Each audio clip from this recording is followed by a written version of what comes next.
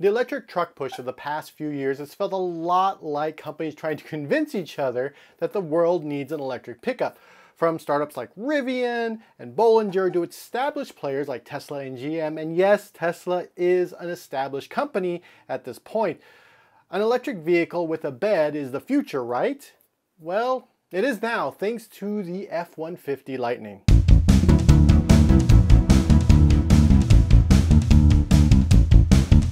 I'm Roberto Baldwin, this is Roll, and this is the all-electric Ford F-150 Lightning, the automaker's biggest play into the world of EVs.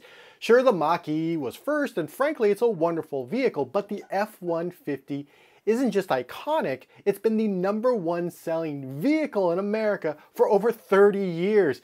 It's been the number one selling truck for 44 years. From contractors to landscapers to large company fleets and folks who just want a fancy pickup, the F-150 covers all of the bases and now it's expanded to the world of EVs.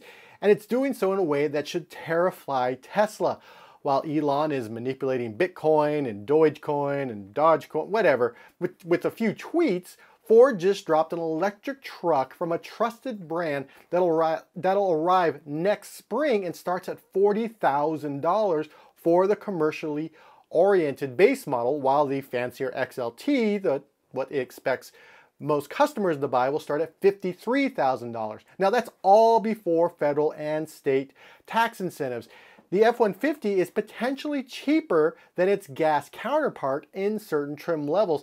And because it gets that federal and that state tax incentive, that's something that Tesla and GM just don't have anymore. They don't have access to that. So if you buy a, you know, the Hummer or if you buy the Cybertruck, you're not getting any sort of federal tax incentive discount. With the F-150, you do. So what do you get for all that cash? Well, for starters, you get either 230 or 300 miles of range from the standard or extended range batteries. These are targets now. They could be a little bit higher, they could be a little bit lower, but that's what Ford is putting out today. Both batteries support DC fast charging up to 150 kilowatts. Now that's not as quick as let's say 300, 350 from an 800 volt architecture. Ford's using a 400 volt architecture, but it should be plenty for most people since, well, most of us charge our EVs in our homes at night. Ford states that within 10 minutes of one of these chargers, the standard range battery will get about 41 miles of range, while the extended range battery will get 54 miles of range. That's, you know, 10 minutes you plug in and you get 50 miles of range. Now both come with an optional 48 amp Ford connected charger station for your home. They also, you know, they come with the one, you know, that cable that you can plug in at your home, the, the mobile charger. But if you get the extended range battery, it ships with an 80 amp Ford Charging Station Pro that can be used to power your home from your truck during blackouts. Now this is huge if you live anywhere where the power goes out because of inclement weather or if you live in California where the power goes out because the utility companies don't want to start fires. Now that's the standard piece of hardware if you get that larger battery size. Now you'll still have to hire an electrician to install it unless you're an electrician, good for you. But Ford says the system can power your home for up to 10 days if you ration your usage. So you can actually say goodbye to rolling blackouts as long as you don't have, you know, everything running all at once. If you need power on the go, the truck also has power outlets for on-the-go needs. The standard truck outputs 2.4 kilowatts to outlets, the kind you have in your house, you can plug things in. Now that's enough to power some power tools, while the Lariat and Platinum trim levels of the truck output 9.6 kilowatts of power, which can power up pretty much anything. If you want to saw some stuff, if you want to watch TV, anything you want to do you can pretty much plug into this truck except maybe, I don't know, run an electric dryer.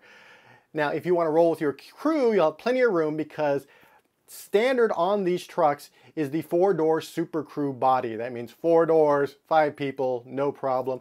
It also has a standard 5.5 foot bed, which is, you know, pretty typical in the truck world.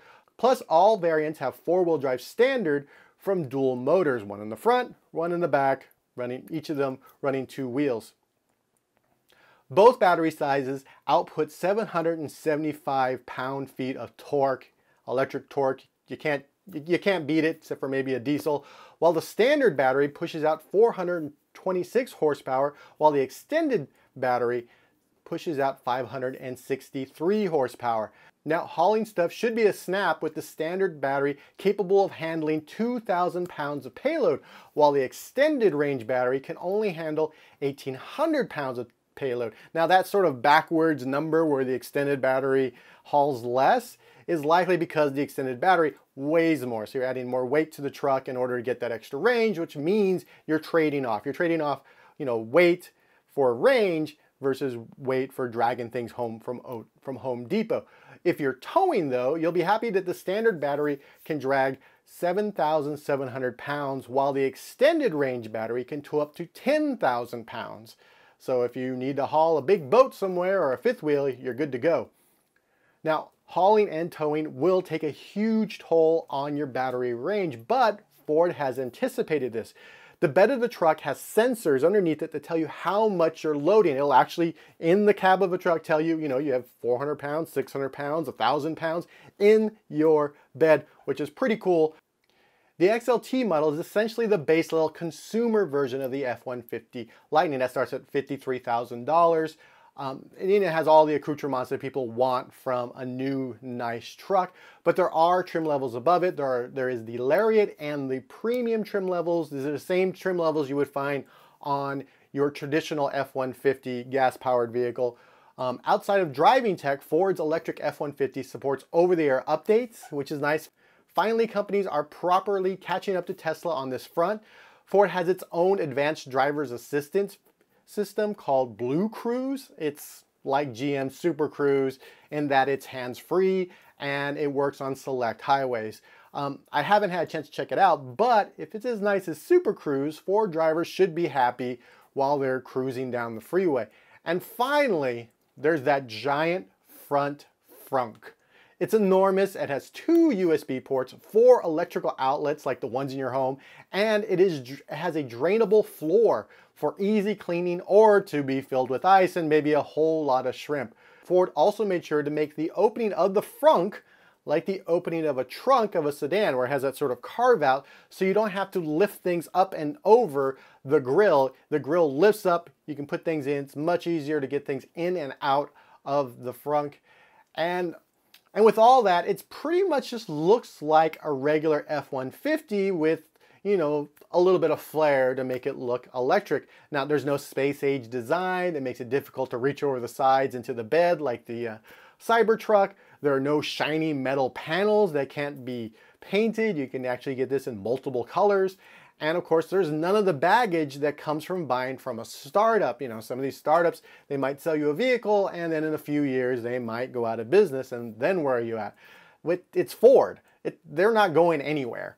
If you're ready to ride the Lightning, Ford will let you make a $100 deposit right now to reserve your very own future of electric trucks. A future that's based on decades of building the number one vehicle in America and four decades, over four decades of building the number one truck in America. Ford knows what it's doing. Let's see if it can translate all that into a truck. It'll be here next spring. And for now, uh, we just, you know, we're, we're waiting with bated breath before we get time behind the wheel.